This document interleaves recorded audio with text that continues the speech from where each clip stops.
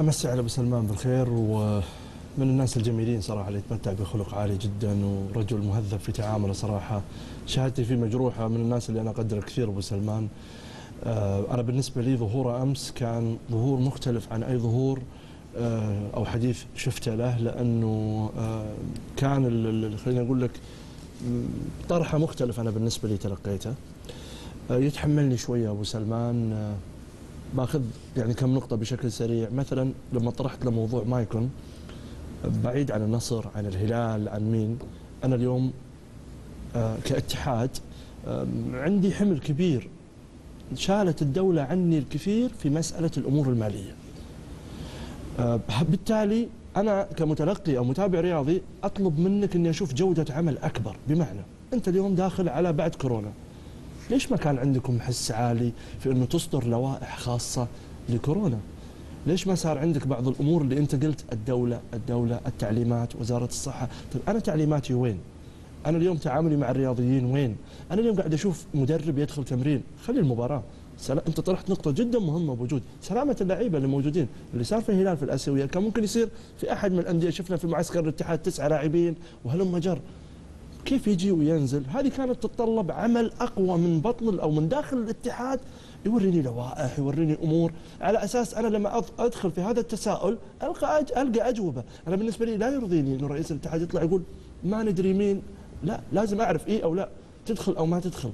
من عندي أنا كاتحاد. هذه ب- بس في محمد بس في نقطة يعني عشان ما نحمل الأمور أكثر مما تحتمل. أنت تتكلم عن الآن مثلا هذا إجراء دولة صح ولا لا؟ حجر سبع أيام إجراء على الجميع رياضيين غير رياضيين الكل. ممتاز. تمام لحظة. أنا إذا لعبت كنادي في التمرين اسمح لي هذه مخالفة من اللاعب ومن النادي. خليني صح ولا لا؟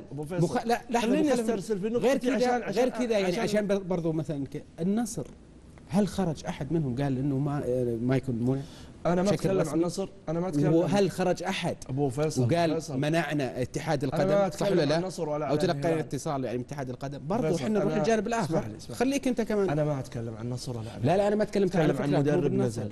لاعب محترف جاء لاعبين عادوا بشكل عام مش عن مايكون أنا بالنسبة لي أنت كاتحاد حتى لو كانت الجهات المعنية تقول لك لا قل لي أنا خاطبت الجهات المعنية نعم وقالت لا وأنا أمنع. خليك في مصدر قوة أنت الاتحاد أنت صاحب القرار. اللاعب مرجعك وأنت مرجع الوزارة وهلم جر هذا في الجانب آه، آه، هذا. أبو أبو سلمان تكلم عن نقطة جدا مهمة مسألة آه، التواجد واستمرار أستاذ عبد الله الدبل وال- والناس اللي كانوا موجودين في الاتحاد الآسيوي. معناته أنت كقائد للاتحاد تؤمن ببقاء الكفاءات. أنت آه، ليش ما استمر أحمد الخميس؟ ليش ما أنت حاولت آه، خليني أقول لك تسقل مهارة أو خبرة إبراهيم القاسم هنا وعندك واحد آخر هناك قوي إذا كنت تؤمن بهذا المبدأ. صار في عملية تغيير.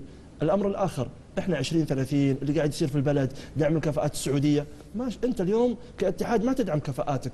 آه، رئيس لجنة حكام أجنبي آه، أعتقد كان الانضباط أجنبي. آه، لا في كفاءات سعودية.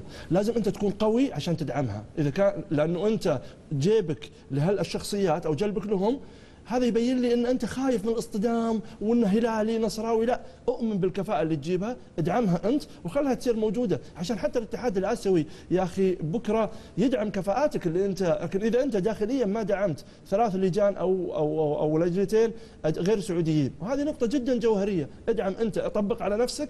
بعدين خلينا نروح على الاتحاد الاسيوي ال- ال- السؤال اللي انت طرحته موجود عن مسألة الأمين العام واختلاف بعض الأعضاء اللي موجودين، أنا في منطلق إداري أقول قال أبو سلمان يعني أنا شفته في شهرين الأخ إبراهيم ممسي عليه شهرين لا هي كافية لا بالسلب ولا في الإيجاب. يا جماعة الخير الأمين العام ما هي مسألة واحد يجيد مهارة أو مهارتين يحتاج تمرس. نرجع بالذاكرة للامناء اللي كانوا موجودين في الاتحاد السعودي انحكوا في أنديتهم في الاتحاد.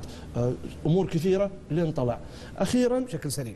أخيرا آه، صراحة جاوبني وأرضاني على بعض الأمور اللي تخص مشاركة الهلال ودعم الاتحاد السعودي فيها وما دعمه أو ما قدمه الاتحاد السعودي رغم أنا شخصيا يعني انتقدت الاتحاد كثير لكن في بعض الجوانب أنا صراحة جاوبني وكان شفاف في بعض الجزئيات أمسي عليه نتمنى نشوف منهم عمل أكبر بما انه الحمل طيب. الأكبر يعني ألقي من عاتقهم